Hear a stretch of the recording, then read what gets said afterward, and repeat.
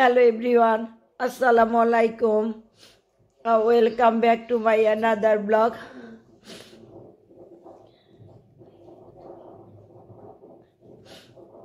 আমি Austria Vienna থেকে Mary's kitchen and blogs থেকে মেরি বলছি। আজকে এক সপ্তাহ হয়ে গেল আমি কোনো ভিডিও আপলোড দিচ্ছি না। কারণ একটাই আপনাদেরকে আমি বলেছিলাম যে আমার আব্বা অসুস্থ আমি দেশে যাব। আপনারা সবাই আমার আব্বার জন্য দোয়া করবেন। আমি গত বাইশে অক্টোবর বৃহস্পতিবার দুপুর বেলা মেবি একটা ভিডিও আপলোড দিয়েছিলাম, সেটাই শেষ। কারণ বাইশে অক্টোবর রাত দশটায় আমার আব্বা না ফেরার দেশে চলে গিয়েছে। এও বুঝতে পারিনি, আমার আব্বা যেভাবে চলে যাবে।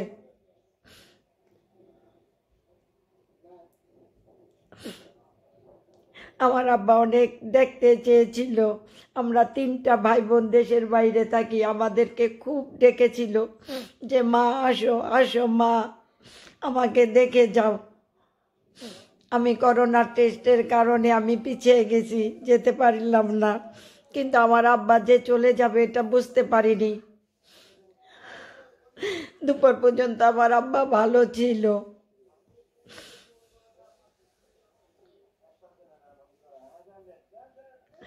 আসিফ আমাকে একটা টিস্যু দাও তো। যারা আমার আব্বার জন্য দোয়া করেছেন, তাদেরকে অসংখ্য ধন্যবাদ।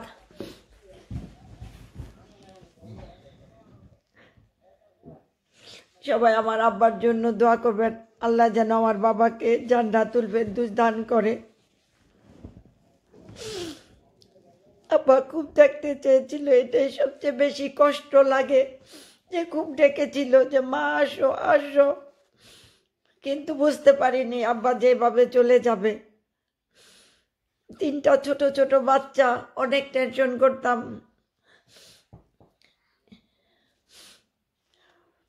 যাদের বাবা মা নাই, তারা বোঝে এটা যে কতখানি কষ্টের। এই যে দেখেন আমার, আমি লাকেজও বের করেছিলাম যাওয়ার জন্য, এই যে লাকেজও রেডি কিন্তু তারপর আমি যেতে পারলাম না।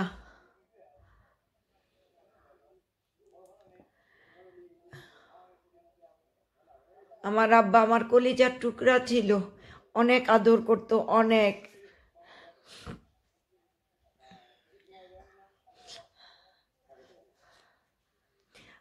কালকের ফ্লাইটেও তারপরও যেতে চেয়েছিলাম যে আব্বা, আমার আব্বার কবরটা জিয়ারত করে আসি। আমি করোনাটা টেস্ট করিয়েছি, কিন্তু আজকে পর্যন্ত রিপোর্ট আসলো না। করোনা টেস্ট রিপোর্ট ছাড়া টিকিটটা করা যাচ্ছে না। কালকে সকাল দশটার ফ্লাইটে ধরার ইচ্ছে ছিল। তিরিশ তারিখে আবার কোনো ফ্লাইট নাই।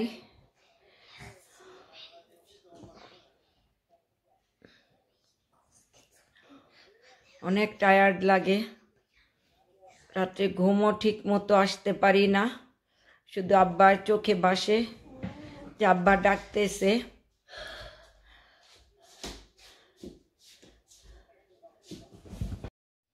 যাদের বাবা মা আছে, যারা বিদেশ থাকেন, তাদেরকে বলব অন্তত বাবা মার সাথে একদিন ফোনে কথা বলবেন, সময় বের করে নেবেন।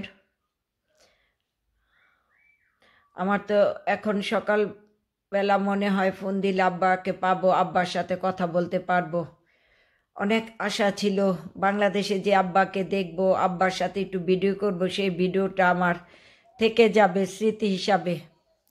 কিন্তু আমার ভাগ্যে সেটা নাই, তাই আর হলো না। বাবা হারানোর কি যে কষ্ট, যার গেছে একমাত্র সেই বোঝে যে কেমন লাগে।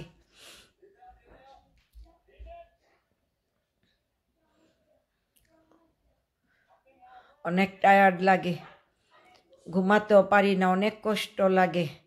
আল্লাহ, তুমি আমার বাবাকে জান্নাতবাসী করো। আপনারা অবশ্যই আমার বাবার জন্য একটু দোয়া করবেন। আমিও সবার বাবা মার জন্য দোয়া করি। আল্লাহ যেন সবাইকে ভালো রাখে, প্রত্যেক বাবা মাকে যেন ভালো রাখে। আর আমাদের জন্য একটু দোয়া করবেন।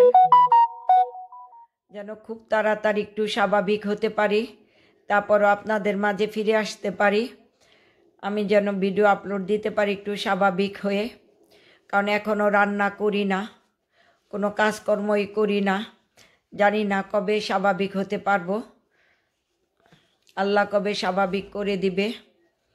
অবশ্যই আল্লাহ সবাইকে ধৈর্য শক্তি বাড়িয়ে দিবে। সবাই দোয়া করবেন। আজকে এখানে শেষ করছি। সবাই ভালো থাকবেন। আল্লাহ হাফেজ।